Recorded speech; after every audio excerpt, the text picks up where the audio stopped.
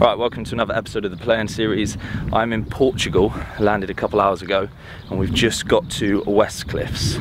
Now, today we're playing Praia del Rey, which is one of the courses here. And I'm playing with Iona, who you may have seen on Instagram. She's presenting for Sky Sports and also for Golfing World. So we've already played two holes, and we started on 10.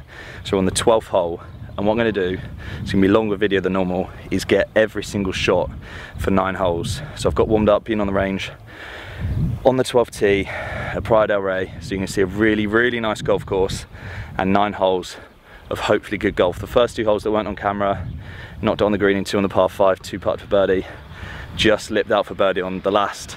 Kind of lucky because it was off camera. So hopefully we'll carry the form into these nine holes and shoot a good one.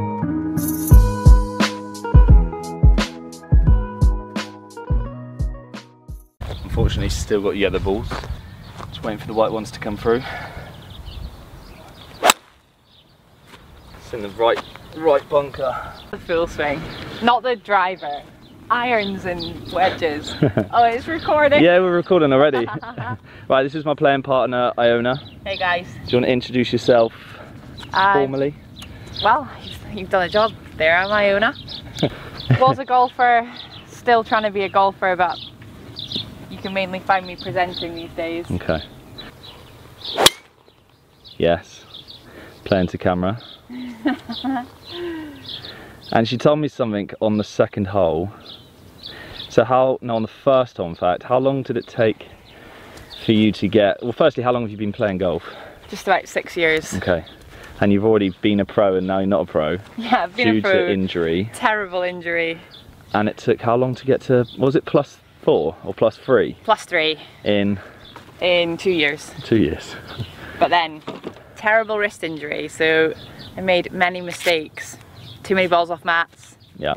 too many steroid injections, now I'm screwed. So, lessons to be learned for everybody. Looks good. The first two holes felt like a very promising start swing wise.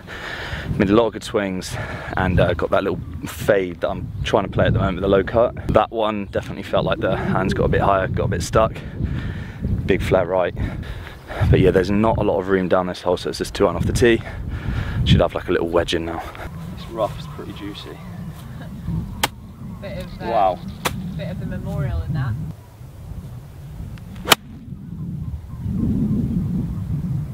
Win. Oh. Yeah. Perfect.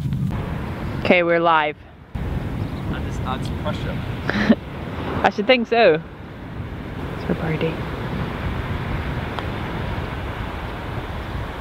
Up first. Oh. Tidy little par. Is it par? Well, actually you're one under, Yeah. technically. But they didn't see that.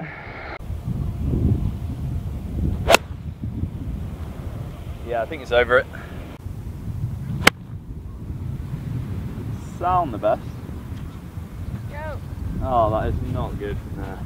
Degrees. Right, we've got chip techniques now from the tour. the tour, which tour, I'm not sure. yeah, this is it. I was I was just saying to James, this is a shot that Renato Paratore taught me at the British Masters a couple of weeks ago. He could obviously do it brilliantly, mm-hmm. like sending this ball 30 feet in the air and landing like dead weight. Yeah. But I mean, it's helped me a little bit. It's worked for a first one. So Up there, it's five for the foot. one. Now you're on camera, now, yeah. Yeah, this is really matters. So he just like opened up the blade a little bit, like really got the bounce on the ground, and then he just said like he just kept saying you want to go um stay down, keep your chest down and like have nice speed through the ball. Yeah. But I also saw that the club head was like overtaking his hand. So he was like So he's releasing it, staying down, releasing it, and Yeah, he's like just stay down, basically. If you stay down. Yeah, that was struck as well. Stopped pretty quick. Yeah, that'll do. A bit more like that. Yeah, that's stopping quick, isn't it? That's like up and down. Obviously that's an ele- elevated green so it doesn't look as high but need to practice that one but tip from Renato. Round that. That's a good roll. It's a good putt I'd say.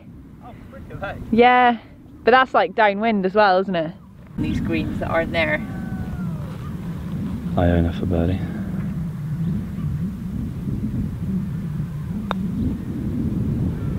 Ooh, I just keep seeing it, it's just I not think there. she's misread that one. Shocker. Another opportunity slips me by. Yes. Nice. So what club have you got here? I got a pitching wedge. For 180 yards. No, 165. 165. 165, and it's downwind, playing down a couple yards as well. Definitely, yeah. So they're only playing like 155. okay. You can't go long, so.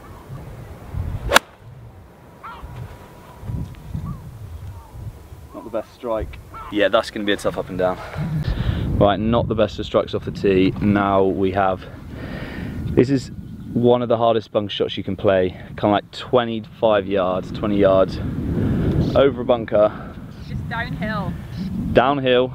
There's a, it, you're gonna have to land this on the downslope Yeah, or long. I've not got the best lie either, and I've got five foot of green to work with, so that's the excuses laid. Nah, it's not. Alright, let's see it's heavy. Nah, it's got like a massive clump of sand behind it. But I like you. I like There's such thing as a bad lie in the bunker. That's what they say. Okay. Nice. What a shot. All right, we'll take that.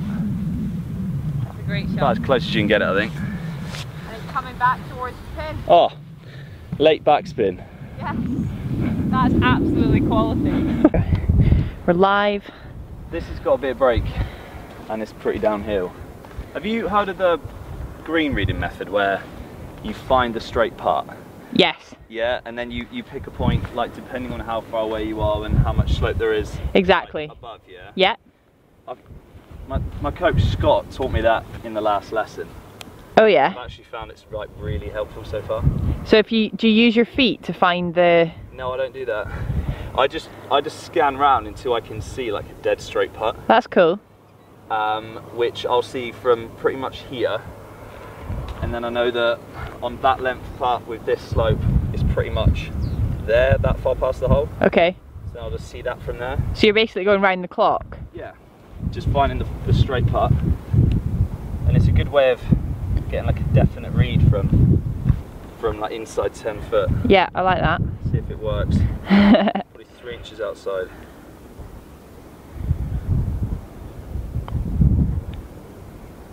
Easy.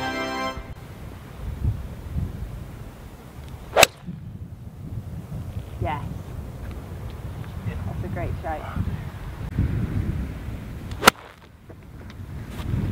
Oh, needs to cut. Yeah, stay there then. Alright, we got a chance. Nice. Another putt for birdie here. If I was putting for birdie on TV, what would you be uh, calling? Um, okay. Got young James here. Young, I like that. That's a good start. He's hit two great shots into this par four. Looks a little bit uphill, a touch of left to right. I think I agree with that. Yeah.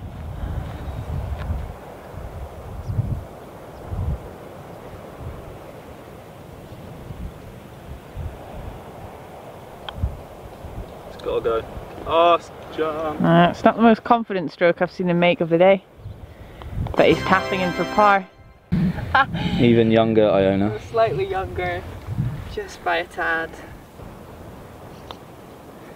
Oh. Oh, yes. First part of the day. She's turned it round. All starts here. All starts here. Iona's just come back from America. I have. Been doing the memorial, Yes, in Ohio. actual presenting on Sky Sports. Scary stuff. This is the real deal though, the YouTube. Oh yeah, this is obviously more important. All right, so we've got 390 meter par four now. Haven't hit the driver yet today, but I feel like I'm swinging it well, so this has got to, uh, you can't be scared of it. The reason for keeping the driver in the bag mainly is because I can still hit a two iron like 270 um, with not too much run, so I find that driver sometimes is a bit of a risk, especially on tight courses, but looks like, yeah, loads of room.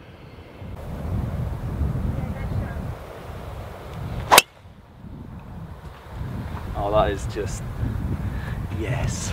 Low fade, no more high draws with the occasional 300 yard right drive. See what you got. Not a lot. Mindset changes now, camera's on.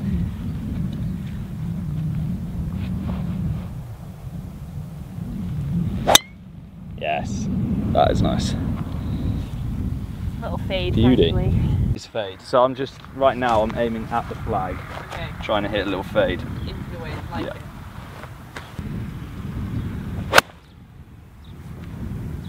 It's a draw. It needs to go, I think. Oh, it- oh, it needs to go, but it was right on line.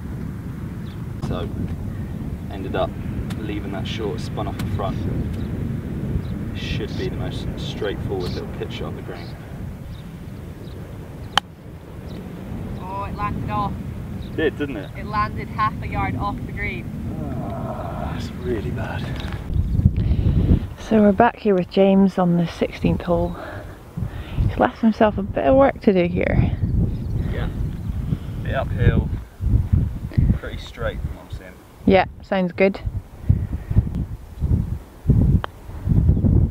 No. Does just tail away. Tailed off. First bogey of the day.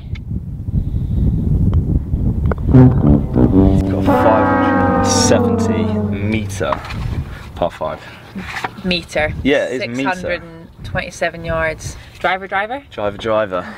It's definitely driver. Yeah. Don't know how much room there is. Trouble up the right, so you can't hit up there. Um, but it looks pretty wide, to be fair. So. Not there. Not seen that. Yeah. Great ball. That's better.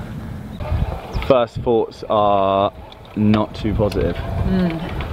Mm. Well, ever the optimist, I think you're probably You are very optimistic. you're probably just nestled in this little bit over here, I reckon. Yeah. Should Which which uh, which bit? Probably like there, I'd Okay. say. I didn't really look. see it off the tee, but Didn't see it, but you know it's fine. but I reckon based on it it was just like a massive draw, was it? Yeah. Yeah, not a hook. Not just massive draw. Um, Yeah. Here somewhere. I think that seagull's saying it's out of bounds. we did. Not looking good. Nah, it's done. Not a lot of room. Minute rule. It's done you here. To be fair, competition playing 6:30 into wind, it would probably be two iron, two iron wedge all day. Yeah.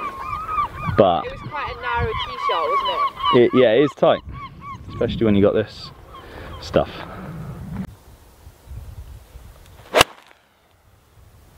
Free one of your irons looks like a pitching wedge. Well, as in, They are so thin. Like literally the thinnest irons. They're blade They're beautiful, blade they? blades. They're like butter knives. fancy hitting them. Absolutely not. My hands and wrists are hurting just looking at them. like genuinely the nine iron looks like a one iron. that is ridiculous. Are they old or new? I thought you'd ask that. Everyone says that when I get them. When when I get them out, they're brand new, pretty Are much. they? Three months. They got the raw finish. It's cool. So they go. Do you like that? I love it, yeah. Because they've been getting mixed reviews. It's like vintage. It is cool. I, I like it. And Good. that's like I'm into that kind of like You got style. old school Yeah. That. When you got- play with some men, like they're like, oh, what's what's what, what, what's happened to them? really Are they are they diseased? no i like them but like if, if you saw this bag like sitting outside a clubhouse you'd be like proper golfer yeah. like ouch proper ball striker One twelve. I got fifty six. Okay. And the wind's not. If anything, it's maybe slightly into.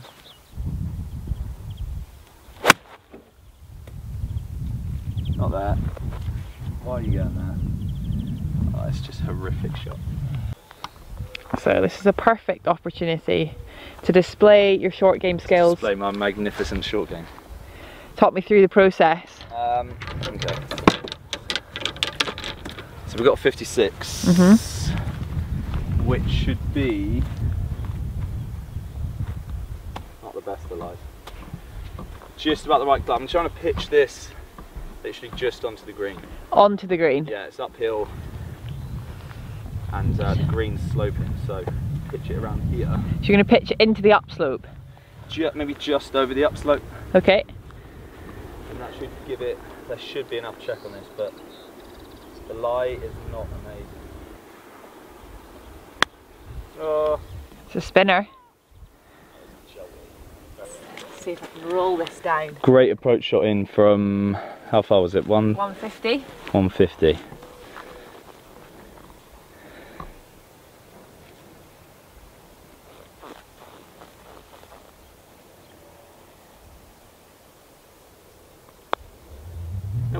Gonna go. That was not not out in the middle of the putter. My confidence is not there.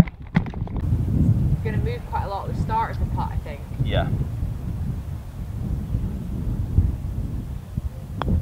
Oh my god. So That's moved. Yeah, two foot.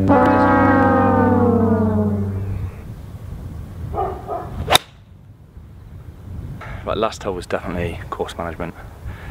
630 yards tight is just three iron, three iron wedge all day. Not hit driver hard, hook it out of bounds. But yeah, got a few holes left, so we'll try and make a few birdies back.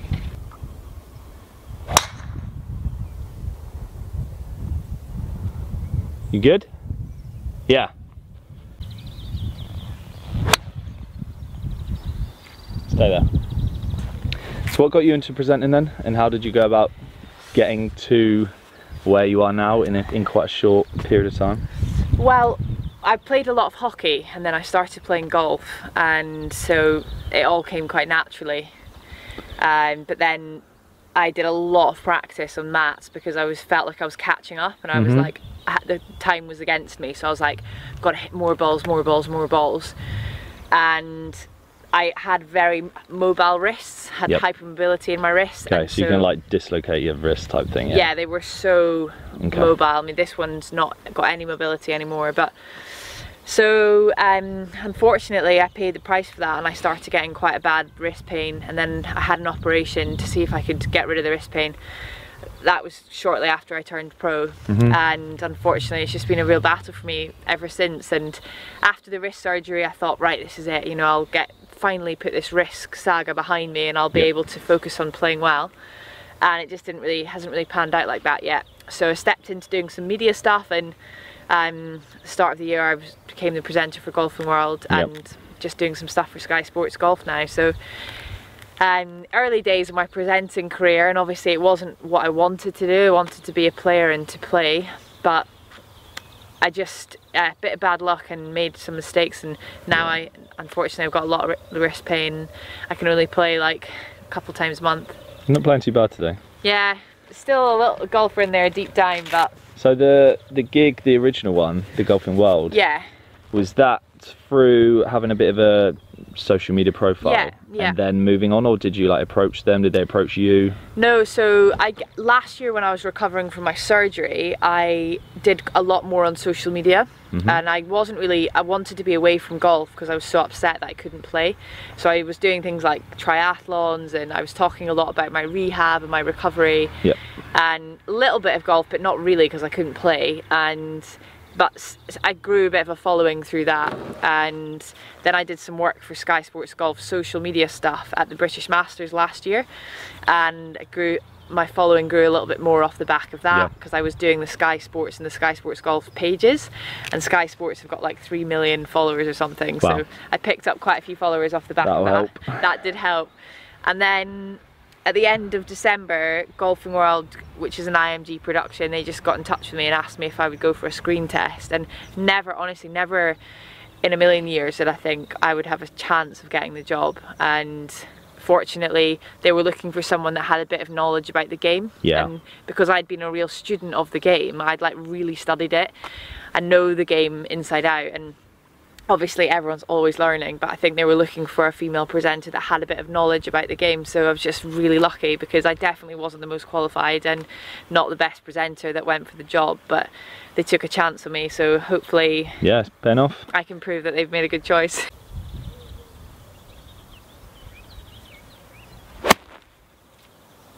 Get out that lie. Dug it out. Oh, that's gone. Oh no, down the hill. Good chance for an up and down. Yeah.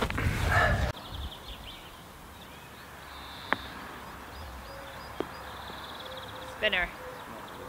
Go. Where do you see this? It's, this is like, I'm not sure whether it's going to move left or right. It looks dead straight to me. Yeah. That'd be why. it looks dead straight. Straight fair. I, I think, yeah.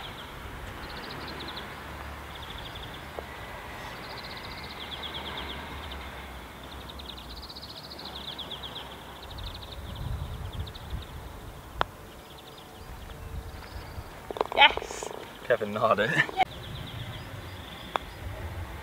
Oh, yeah. Another way. Finally, Well we actually hold some putts. Both. Not bad.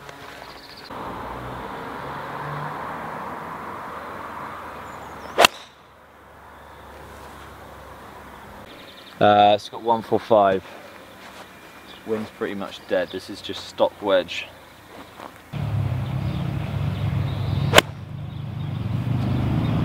Nice right. Go in. You can try and pitch it just on the green again. Yeah. Release, I think a 50 degree should be the club for that. But they're kind of unpredictable. I think it doesn't ever release as much as you think. No, do Got to fly. fly it like a good few feet on the green, I say. Eh? Okay, let's give it a go.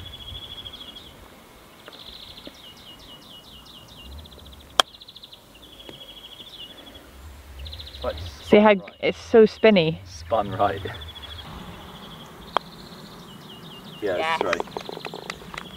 Another good putt. Scrambling for Two pars. great putts in a row. So what are you saying about me being humble? No, well, I'm just saying that like you hit such a good golf ball, but you it seems like sometimes you don't have loads of confidence. You know, it seems like you lack a bit of confidence in your Mhm. game, and then you get closer to the green, and you can see you don't have like like this is going to be an awesome shot. Yeah. Whereas like. I'm not saying to be arrogant. Like it's not n- not nice to be an arrogant golfer, but Yeah. I think if you you need that sort of grit, Like an air of yeah, grit or confidence. yeah, an air of confidence, or just like you really mean it. Like you're really gonna make a swing with full intention, Mhm. and then and then walk away from the shot going, did I really like commit to that and see the process through? Yep. And then base your performance on that rather than any sort of outcome. Okay. So like stand behind every shot and pick out your landing spot or pick out your target and then commit to that. And then after the shot be like, did I did I absolutely commit to that? Yeah, and have And- that as the Yeah, rather than like Where's not really knowing gone? what your intention is say around the green and then feeding into that la- lack of confidence because you've maybe hit a really good shot but you just didn't have like a good landing spot and Yeah. you're kicking yourself and you're beating yourself up for the wrong reasons because you might have hit a really good shot but you just didn't have the right landing spot or and the only reason I'm saying this is because like I was saying to you that I did some work with Dave Alred and I was fortunate to interview him at um, the World Match Play in Mexico, and he Mhm. was talking about his work with Molinari and what amateurs. I was saying, what could amateurs learn, or, or anyone, professionals that want to improve their game, learn um, about how to practice more effectively? Yep. And he was saying, to start with, you should only ever work with five balls at a time, and work, bring your practice into groups of five balls. okay. And so, because that way you get to reset after every fifth ball, you get that first ball again. And on the golf course, you only ever get one ball Yep, it's true. so the first ball is the most important, and then you get four bonus balls. But then you start again, you reset, and you do it.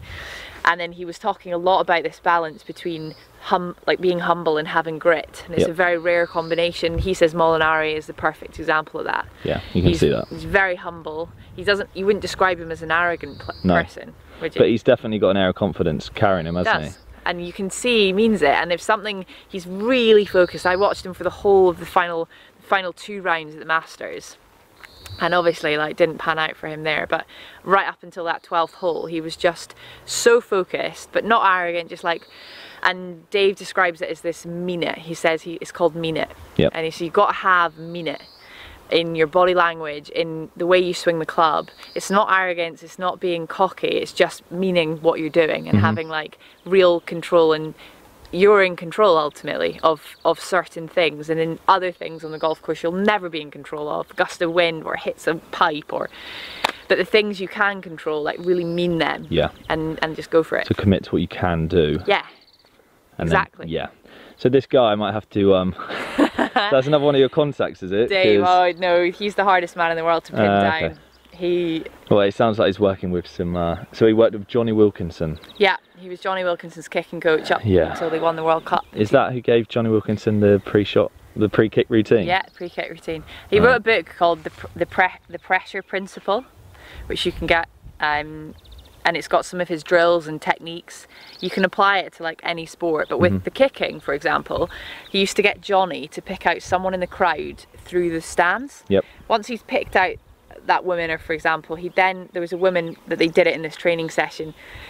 He's like, right now, pick out something on that person. Right. So he picked out that ice cream cone, and then Dave was like, right now, pick out something on the ice cream cone. Yeah. So he picked out the flake, and it's like that was the target. It wasn't just, and and Dave would always say that on the golf course, like, okay, you're aiming at that tree, but which branch? Yeah, I remember reading Bob Rotella books, and it's the same thing. Yeah. Like find the smallest possible target. Yeah, but then what Dave, Dave's, if you ever see him at a tournament, he's he's walking around. He's always got a notebook, and even in the interview, you can see it on YouTube that I did with him.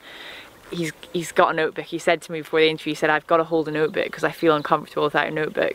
Because he's always writing stuff down, and what he's writing in there is he's he's scoring Molinari on his mean it, so Okay. not on the outcome, not on the outcome. He's saying to Molinari like, "Did you, how, how would you rate your commitment to that shot And out of five? and and Molinari might go with five, and Dave will just note it down, and then that way it's it's totally process focused, not outcome, Yeah. and it's great. It's really good. I think. I think it's good stuff. All right, this is James's caddy here. Okay. Got par five. On the bag. Can't promise you too much money yet.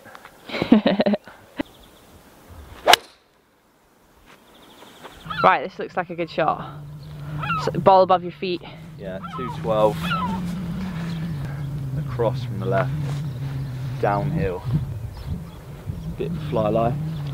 Yeah, I think it's a little six rather than a seven. sounds good.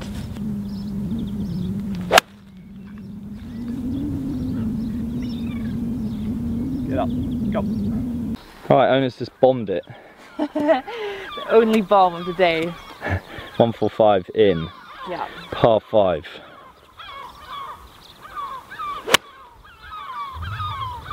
Go on, release in. And focus camera. Oh yeah. Oh wow. That's close. I'll take it. If that's pin high, that's like two foot. gone way too long. Right, firstly, Iona's just hit it to a foot, not two.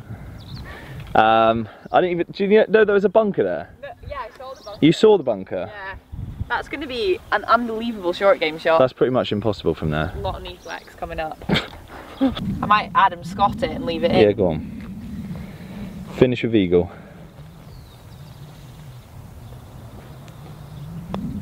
Yes. Yay! But um, Two back. Happy with that. It's on a downslope, quite a fluffy lie. Bunker in front.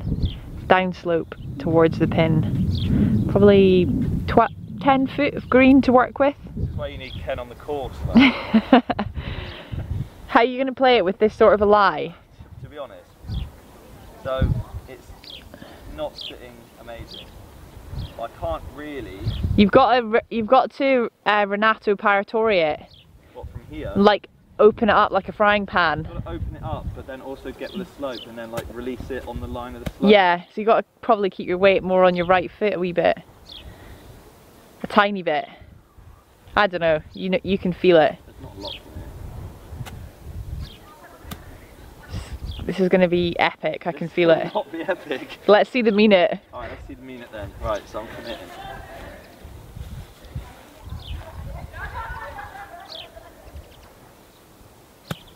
There's literally nothing from there. There was about one out of ten mean it in that, So hard. but this could very well go in the hole. Very nice. That is a great golf shot. Beautiful. We'll take that. Yeah, very nice. I think I can give you that I think that is probably a gimme. for your birdie. Par. Par. Very nice. James, it's been a pleasure.